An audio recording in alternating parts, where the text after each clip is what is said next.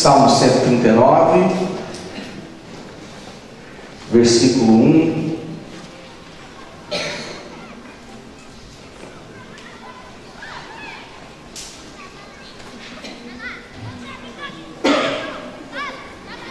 E dois.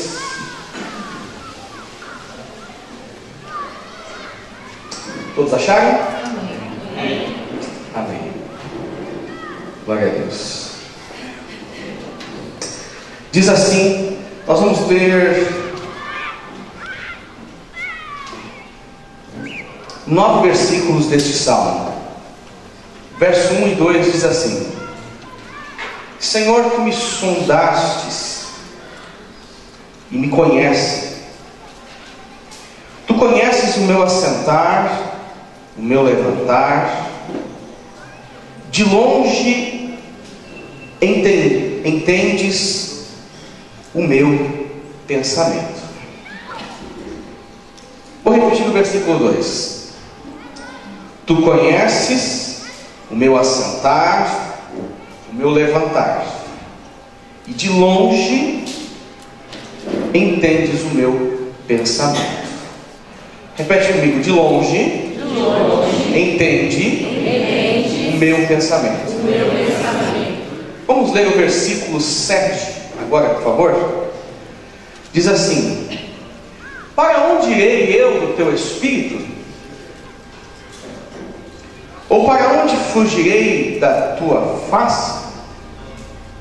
Verso 12: Nem ainda as trevas me escondem de ti, mas a noite resplandece como o dia, e as trevas e luz são para ti a mesma coisa. Verso 14: Eu te louvarei, porque de um modo terrível e tão maravilhoso fui formado, maravilhosas são as tuas obras, e a minha alma o sabe muito bem. Verso 17: E quão preciosos me são, ó Deus, os teus pensamentos, quão grandes são as somas deles. Verso 23: Sonda-me, ó Deus, conhece o meu coração, prova-me, conhece os meus pensamentos, e vê se há em mim algum caminho mau, e guia-me pelo caminho eterno. Diga comigo, guia-me pelo caminho eterno. Amém. Senhor Deus, no nome de Jesus. Eis a tua palavra, Senhor. Peço que o Senhor fale conosco. Peço que o Senhor fale aos nossos corações. Que possamos, ó Deus, nesta manhã, ser edificados por Ti, consolados por Ti, exortados por Ti, Senhor. Aleluia. Em nome de Jesus, Pai. Em nome de Jesus. Amém. Amém. Gente, eu quero falar com vocês sobre esse Salmo 139, que é um salmo muito íntimo de Davi. Um salmo em que Davi faz algumas revelações. Davi apresenta algumas coisas tão maravilhosas que hoje, no, século presente, elas já foram tão estudadas e foram temas de tantas mensagens. E Davi, tantos anos antes de Cristo, já tratava algumas questões com muita naturalidade. O Salmo 139, ele, como eu disse, identifica uma mensagem para nós íntima e pessoal. É como se o salmista, amigo de Deus, estivesse conversando com Deus e, de uma forma tão simples neste diálogo, ele expressasse o que ele sente por Deus, o que ele pensa de Deus e o que ele necessita de Deus.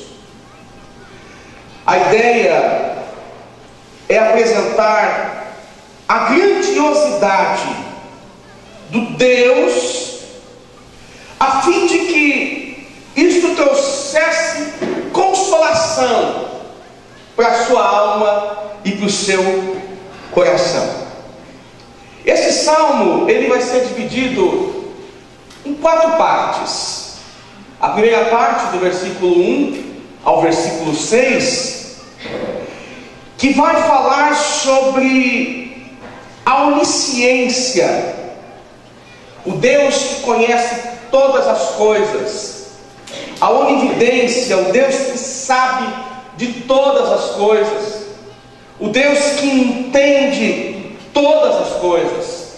Olha só o verso 2 do Salmo 139. Tu conheces o meu assentar, o meu levantar, e de longe entende o meu pensamento, de longe compreende os meus pensamentos. É como se o salmista estivesse dizendo: Deus, antes de eu pensar, o Senhor já interpreta o que eu, vou pensar. Antes de eu levantar, o Senhor já sabe qual será a minha direção. Antes de, de eu me assentar e buscar um descanso, o Senhor sabe exatamente a minha real intenção e o que eu procuro de fato. É isso que o salmista está dizendo. A segunda divisão desse salmo é os versículos 7 ao versículo 12, aonde Davi ele diz: Olha, Deus, o Senhor está em todos os lugares. O Senhor está em todos os lugares.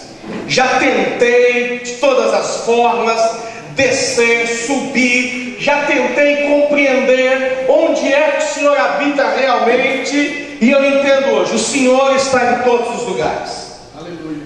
Não dá para se ocultar, não dá para se esconder, não dá para fugir da sua presença. O Senhor está em todos os lugares. Uma terceira divisão é do versículo 13 ao versículo 18, que Davi vai dizer: além do Senhor conhecer os meus pensamentos interpretar as minhas intenções antes que elas se manifestem, o Senhor, além de estar em todos os lugares, o Senhor é criador de todas as coisas.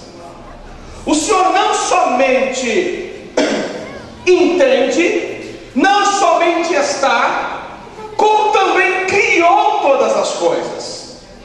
O versículo 13 ao 18 vai nos dizer isso. E a quarta divisão do texto, no versículo 19 ao versículo 24, ele vai dizer: Senhor, estou convencido de que o Senhor tudo pode, estou convencido de que o Senhor está em todos os lugares, estou convencido de que o Senhor tudo sabe. Então, por favor, conduza-me à sua justiça, conduza-me à sua verdade. No verso 24, ele vai nos dizer assim: E vê se há em mim algum caminho mau e guia-me pelo caminho eterno. Mas antes do verso 23, ele diz assim: Sonda-me, ó Deus, conhece o meu pensamento, prova e conhece os meus pensamentos, conhece os meus pensamentos. Sabe o que Davi está querendo dizer, dizer aqui nesse texto? Senhor, testa-me, Testa o que eu estou sentindo. Testa o que eu estou pensando. Faça um teste na minha alma. Faça um teste no meu interior, porque eu interpretei isso do Senhor. Eu interpretei esta grandiosidade. Eu consegui ver em tudo que o Senhor está. Testa-me, por favor, Senhor. Testa-me. E depois de dizer testa-me, ele vai falar: Senhor, por favor, eu sou insuficiente. Eu não sou capaz. Guia-me. Guia-me pelo caminho eterno. Mas antes, vê se algum caminho mal em mim. Vê se alguma coisa de errada em mim. Gente, quando Davi ele apresenta então essas verdades nesse texto, Davi está apresentando estes fatos porque ele quer afastar de sua consciência toda e qualquer desculpa que ele possa vir a dar sobre suas reais motivações. Preste atenção nisso. Davi está querendo afastar do seu coração toda e qualquer desculpa que ele possa vir a dar sobre suas reais motivações. Numa análise sobre nossas vidas, ou minha, a minha vida, minha casa, a gente tem a tendência de sempre criar uma resposta para as situações que nós enfrentamos na vida e principalmente para os erros que nós cometemos na vida. A gente tem a tendência de criarmos justificativas, criarmos respostas que venham de uma forma, às vezes até teológica, é, explicar o porquê nós erramos, o porquê perdemos, o porquê não conquistamos, o porquê nós não avançamos, o porquê retrocedemos, o porquê ficamos parados. Davi está dizendo o seguinte, gente, eu não tenho desculpa. Tudo que eu venho a falar, Deus já conhece. Tudo que eu venho a pensar, Deus já sabe, já interpretou. Toda decisão de direção que eu venha tomar, Deus sabe qual é de fato a minha real intenção. Tudo que eu venha me justificar, tentar me justificar, dizendo que foi por A, por B, por C, Deus sabe exatamente o que se passa dentro do meu interior, porque Ele me criou. Olha só o versículo 14. Eu te louvarei porque de um modo terrível e tão maravilhoso fui formado. Maravilhosas são as tuas obras e a minha alma sabe muito bem. Os teus ossos não te foram encobertos quando no oculto fui formado e entritecido como nas profundezas da terra. Os teus olhos viram o meu corpo, ainda informe, e no teu livro todas estas coisas foram escritas, as quais iam sendo dia a dia formadas, quando nem ainda uma delas havia. Davi está dizendo: não tem desculpa. E cá para nós, quantas vezes você cria desculpa nessa sua vida para justificar os seus erros, ou quantas vezes você toma decisões e lá na frente você quer justificar suas decisões que te levaram a quebrar a cara, que te levaram ao erro, ou quantas vezes você quer exaltar o seu coração, dizendo só acertou porque eu fui capaz e fui bom o suficiente. Só estamos nessa situação porque eu tenho realmente habilidade, sou bom mesmo. Davi está dizendo, gente, eu quero afastar da minha consciência toda e qualquer desculpa que eu possa dar sobre minhas reais intenções. Olha para a pessoa que está do seu lado e diz para ela o seguinte: Deus te conhece.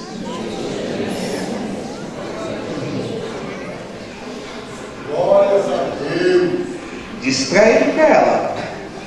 Ele está de olho em você. Deus te conhece.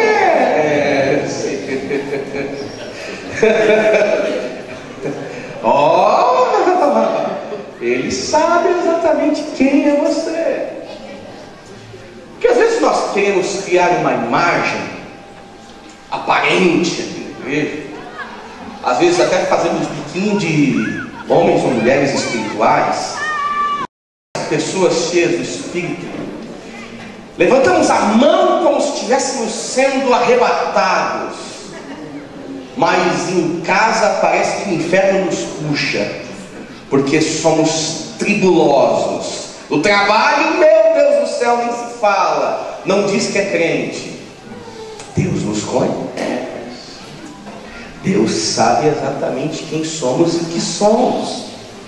Gente, quando nós compreendemos ah, que Deus realmente sabe de todas as coisas, a gente cai em si que não adianta colocarmos situações, explicações, justificativas na nossa frente, porque Ele já sabe. Abra comigo a Bíblia lá no livro de Amós, capítulo 4, versículo 13. Amós 4, versículo 13.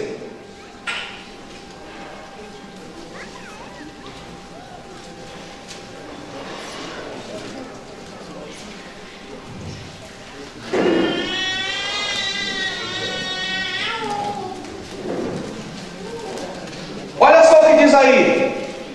Eu sei que está difícil talvez achar Amós. Não é um livro muito lido. Para alguns até, até que a Bíblia também não é um livro muito lido.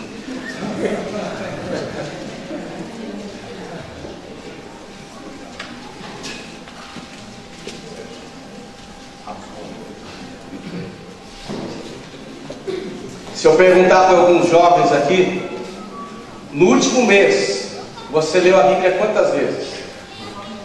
Não responda. No último mês, perdão, nas últimas horas, quantas vezes você entrou no seu Facebook?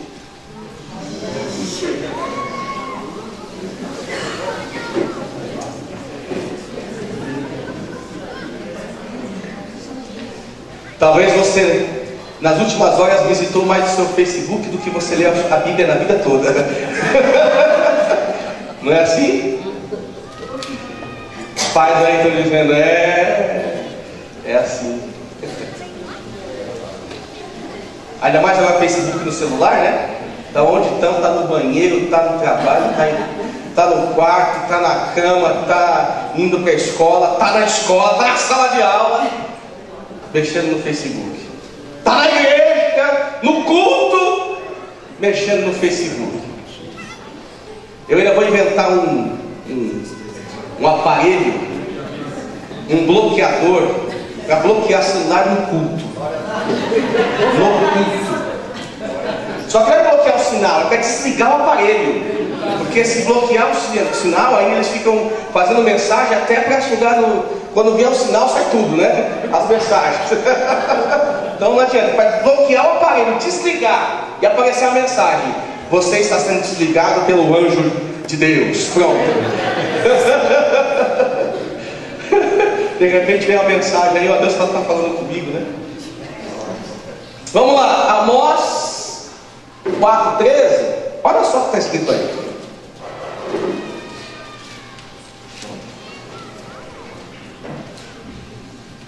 Porque é Ele o que forma os montes e cria o vento, e declara ao homem qual é o seu pensamento. O que faz da montanha da, da manhã trevas e pisa os altos da terra. O Senhor, o Deus dos exércitos, é o seu nome. O sábio Salomão disse que nenhuma palavra é dita antes que a resposta venha da boca do próprio Deus. Do, o coração do homem faz projetos, mas a resposta das palavras da boca vem de Deus. Davi está dizendo: Senhor, eu não quero dar desculpa. O Senhor sabe de todas as coisas. E também tem uma outra realidade que Davi está dizendo no texto Salmo 139. É que ele está dizendo o seguinte: Deus, assim como meu coração se enche de convicção que o Senhor tudo sabe, tudo vê, tudo conhece, eu estou convicto que o Senhor jamais deixa o homem sozinho. Repita comigo, Deus, jamais, deixa o homem, sozinho. Veja, por favor, o versículo de número 8. Olha só o verso 8. Se subir aos céus, ao céu, tu aí está. Se fizer no Seol, nas profundezas, se fizer no Seol a minha cama, eis que tu ali está também. Davi está dizendo: em todo momento, Deus está comigo. Olha para essa pessoa que está do seu lado e diz para ela em todo momento: Deus está comigo. Não é falar com ele, com você não. Deus está comigo.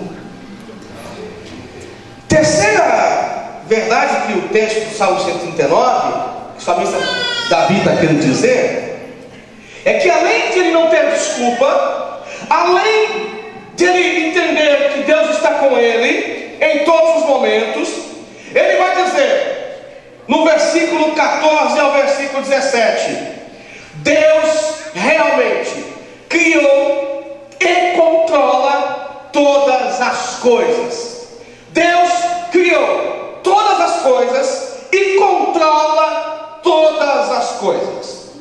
Ele está dizendo tudo isso, gente, porque ele quer alimentar o seu coração de convicção, de verdade.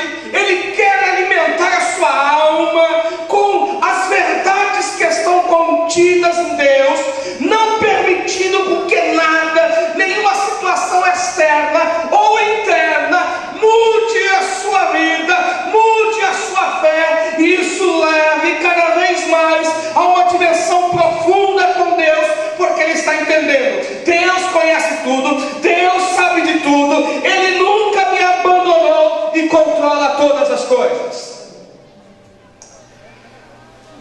Filipenses, capítulo de número 2, versículo de número 3, vai nos dizer assim. Filipenses, capítulo 2, versículo 13, vai dizer assim: Porque Deus é o que opera em vós, tanto querer como efetuar, segundo a sua boa vontade. Deus é o que opera em vós, tanto querer como efetuar, segundo a sua boa vontade. Por que é que o Salmo 139 foi escrito? Que mensagem eu posso extrair deste salmo? Que lição, quais lições eu posso extrair deste salmo? Primeira lição é a seguinte lição. Até parece que é uma continuação do que preguei domingo. Não crie projetos, nem estabeleça propósitos que Deus não esteja no centro. Olha para a pessoa que está do seu lado e diz isso para ela. Não crie projetos, nem estabeleça propósitos que Deus não esteja no centro. Amém?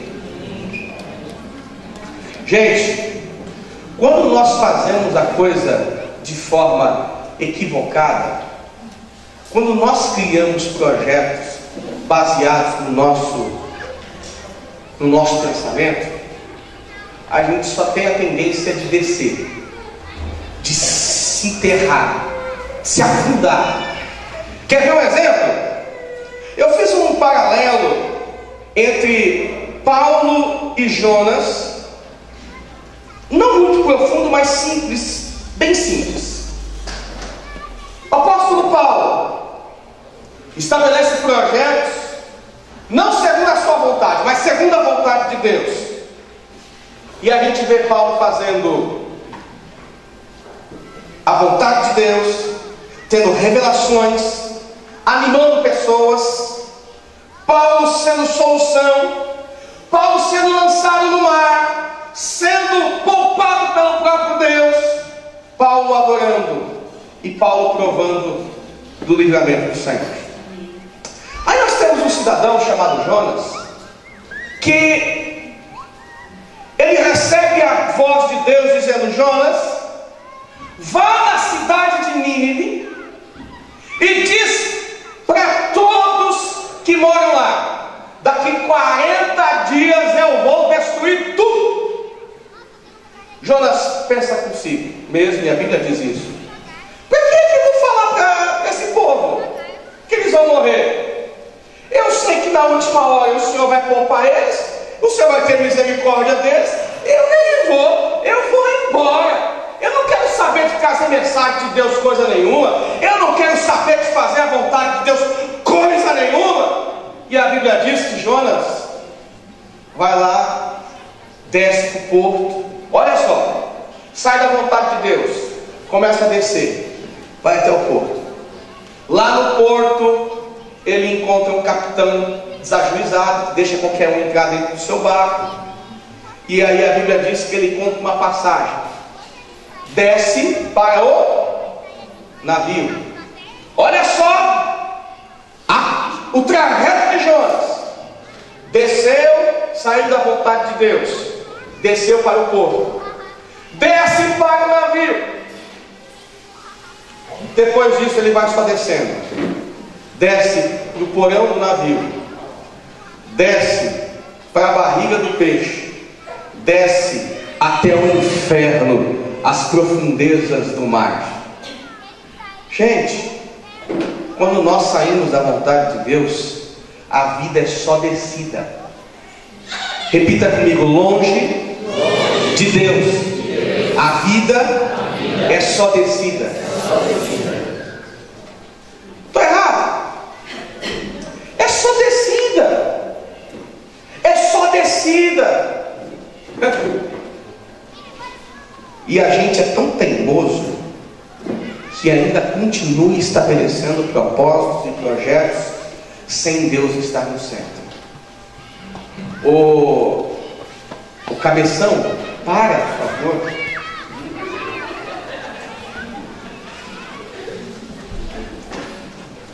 Cabeção, para de, de errar o alvo.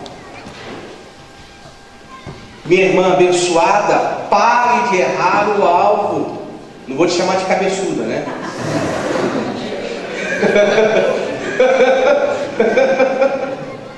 Para de errar o alvo. Pelo amor de Deus. Deus coloca pessoas na sua frente. Deus envia anjo. Deus fala contigo no culto. Deus traz mensagens para você. Deus usa mulas e mais mulas aí afora para falar para você. Não faz isso. E você vai lá e faz. Vai lá e erra. Vai lá e erra o alvo. Não crie projetos nem estabeleça propósitos que Deus não esteja no centro. Meu irmão, uma, um dos principais, uma das principais razões de nossos fracassos é não entendermos os seguintes, os seguintes temas da palavra de Deus. Nós fracassamos quando não entendemos, primeiro, Deus cuida. Repita comigo: Deus cuida. Deus cuida. Aí você pergunta, pastor, então por que, que eu estou sofrendo? Então por que, que eu estou chorando? Então por que, é que eu vivo angustiado? Deus cuida, não do teu jeito, do jeito dele. Deus cuida. Deus cuida. Ah, pastor, mas está tá difícil acreditar nisso. Está complicado acreditar nisso. Irmão, calma. Deus está cuidando de você. O Senhor está cuidando de você. Entenda uma coisa: que há caminhos que para o homem parecem turvos sem saída. Mas essa, na verdade, é a grande vontade de Deus, esculpindo no seu caráter um grande homem e uma grande mulher que vai glorificar o nome do Senhor lá na frente. Aleluia. Repita comigo: Deus está esculpindo Sua vontade na minha vida. Quem acredita que Deus cuida, diga amém. Diga aleluia. Deus cuida de você. Deus cuida da sua casa. Deus cuida da sua família. Deus cuida de você, meu irmão. Um segundo tema que nós temos dificuldade de entender na Bíblia é que além de Deus cuidar, Deus guia. A gente tem uma tremenda dificuldade de entender que Deus guia. Senhor, se o Senhor permitiu, se o Senhor está cuidando de mim, por que é que o Senhor está permitindo isso? Por que é que eu entrei nessa direção? Meu irmão, por que é que Israel ficou 40 anos no deserto? 40 anos! Em uma viagem de poucos meses! 40 anos! 40 anos! Deus não tinha falado para Davi que ele seria rei. E por que é que demorou uma, duas, três unção, unções? Por quê? 30 anos, 40 anos. Gente, quando Deus guia, vai talvez passar um período da sua vida que você vai dizer: É Deus, parece que não vai chegar, parece que nada vai acontecer. Já se faz um, dois anos, cinco anos, dez anos, e nada, Senhor, nada, Senhor, nada. A matemática de Deus nem sempre é a nossa matemática. A gente recebe palavras de Deus e a gente pensa que amanhã vai acontecer, como eu disse, né, no domingo passado. É, Deus fala conosco, eu vou te dar, você já diz, eba, tem hora marcada, é amanhã, eu vou receber. E aí passa a semana, não acontece, é aquele pastor estava na carne. Aquele pastor estava na carne. Que isso? Ele falou que Deus ia dar, que Deus ia fazer. Ele até leu a Bíblia, disse que ia fazer, mas não aconteceu. Não aconteceu. Meu irmão, tanta coisa na vida que Deus falou contigo e vai acontecer não sei daqui quantos anos. Ah, pastor! Mas já disse isso, e já disse isso na sala de aula. Quem tem promessa não morre sem antes a promessa se cumprir. Está certo isso? Hum? Está certo isso? Quem tem promessa não morre sem a promessa se cumprir. Tá, e se Deus não quiser cumprir, você vai pegar ele pelo colarinho? Se Deus não quiser fazer. Ah, pastor, mas não é esse Deus que eu conheço, não. Tá, eu já disse isso. Vamos lá. Até o Adenilson me ajudou aquele dia. Que versículo quer, Adenilson? Qual que é mesmo? É Hebreus capítulo 11. Ah,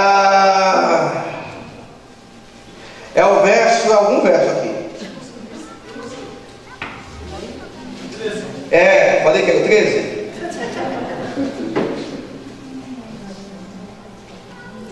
Olha só, tá rabiscado aqui.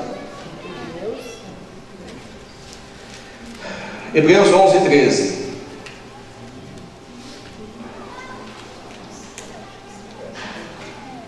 Todos estes morreram na fé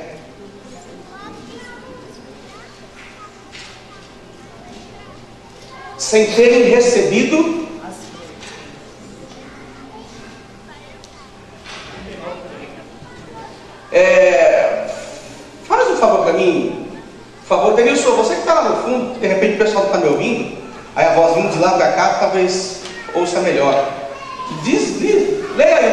favor. Mas a voz, sabe, de negão. Todos esses morreram na fé, sem ter obtido as promessas, vendo-as, porém, de longe e saudando-as, confessando que eram estrangeiros e peregrinos sobre a terra. Vendo as promessas de que forma? Fala para mim de longe. De longe. É, aí. Deus faz como quer, do jeito que quer, porque Ele é. Ele é Deus. Você, quer, você vai pegar o seu pai pelo clarinho para dizer, pai, por que, que você não me deu aquele presente quando eu te pedi quando eu era pequeno? Ele não deu, você já é grande, já é velho, tem filho, filha. Não deu, porque ele não quis. Acabou. Deus guia, Deus guarda a sua vida em todas as coisas. Segunda verdade desse texto é que o salmista, no Salmo 139 que nós lemos, ele está querendo dizer o seguinte: olha, entenda quando as respostas vêm de Deus ou vêm do seu próprio coração. Às vezes nós temos direcionamentos que achamos que são de Deus, mas são respostas vindas do nosso próprio coração. Você já passou por aquela situação que você está para decidir por alguma coisa e você diz, Senhor, me dá um sinal. Me dá um sinal. Se eu chegar atrasado do trabalho é porque é da tua vontade. Se eu chegar no horário é porque tem alguma coisa errada, Senhor. Quantos já pediram um sinal de Deus assim, desse, sabe? Esse tipo de coisa. Senhor, se eu receber a ligação do fulano hoje, é porque o Senhor quer falar comigo. Esse fulano é o chefe dele, né? É, às vezes nós pedimos respostas para algumas coisas que na verdade envolvem o nosso coração. E achamos que essas respostas vêm de Deus. Quando não, preste atenção nisso. Quando não, a gente está querendo tanto uma resposta, e aí vai lá na casa do irmão, da irmã, que tem sempre uma palavra de revelação para ele ou para ela, e aí Deus vai falar comigo, então eu vou lá. Aí chega lá, você põe o pé na porta da irmã e diz: Olha, assim que você chegou, eu já vi.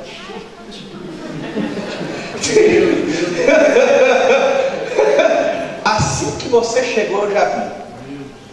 Eu vejo que o Senhor está escrevendo uma chave, uma grande bênção, uma grande vitória. Deus te abençoe. E aí você sai desse culto, dessa reunião, dessa oração, nossa, que pessoa ousada, Deus falou comigo. E aí se você for no dia seguinte, ela vai te dar outra chave. Se você for no outro dia, ela vai te dar mais uma outra chave. Aí, se você passar depois de dois meses, que ela não vai mais lembrar de você, ela vai te entregar outra chave. E aí, no final do ano, você vai dizer para Deus: Deus, o que eu faço com a primeira chave? Porque eu já não sei para que porta serve mais. São tantas chaves, quais portas eu vou abrir? Aí a gente vai entrando nessa barca furada. Eu tinha uma chefe, quando eu trabalhava lá no centro, em São Paulo, na Praça de Isabel, e ela vinha, nós pegávamos o mesmo ônibus, e ela me fazia parar lá no Jardim Grimaldi, e tinha uma senhorinha, o senhor já levou ela hoje, que ela revelava tudo. Tudo e todos. Chegávamos lá, não precisava nem bater na porta. Entrava, ó, Deus está mandando te dizer que vai te dar uma benção assim, assim, assado. E gozada que ela não ia para a igreja, essa mulher. Essa moça, minha chefe, não ia para a igreja. Mas ela ia para a mulher que revelava. Eu pergunto, qual a diferença, nesse caso, de uma oração e de um passe? Qual a diferença de um ziguidum, lá água, naquela situação, de uma consulta, de uma oração, de uma mesa branca? Meu professor Wagner, professor Edenilson, qual a diferença? Às vezes nós queremos tanto respostas. Deixa eu te dizer uma coisa. Deixa eu te dizer uma coisa. Deus pode falar com você mesmo, viu? Fala com essa pessoa que está do seu lado. Deus pode falar com você. Sem usar ninguém. Claro que pode! Claro que pode! E deixa eu te antecipar. Existem algumas respostas que podem vir de Deus. Primeira resposta em relação ao que você precisa. Vou te dar. Segunda resposta, não vou te dar. Terceira resposta, ele vai ficar quieto e não vai falar nada. E quando acontece essa terceira resposta, que ele fica quieto e não fala nada, fala a verdade, hein? Dói na alma. O silêncio de Deus dói na alma. O silêncio de Deus dói no coração. Mas como eu disse em uma mensagem que trouxe para a igreja, assim foi o silêncio com Jacó, quando seu filho José foi dado como morto, que Deus não falou absolutamente nada ao Jacó. Ao Jacó que tinha certeza que José cumpriria a sua parte dentro do seu projeto de fazer coisas brilhantes.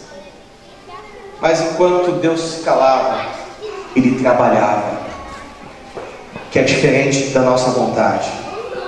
Enquanto Deus se cala, ele trabalha. Repita comigo: enquanto Deus se cala, Ele trabalha.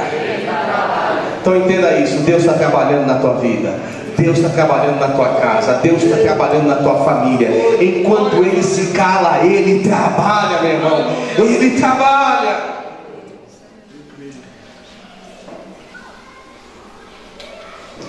O salmista, por último, está dizendo o Salmo 139. Escreveu o Salmo 139, querendo dizer: não podemos nos esconder de Deus, não podemos nos esconder de seus olhos.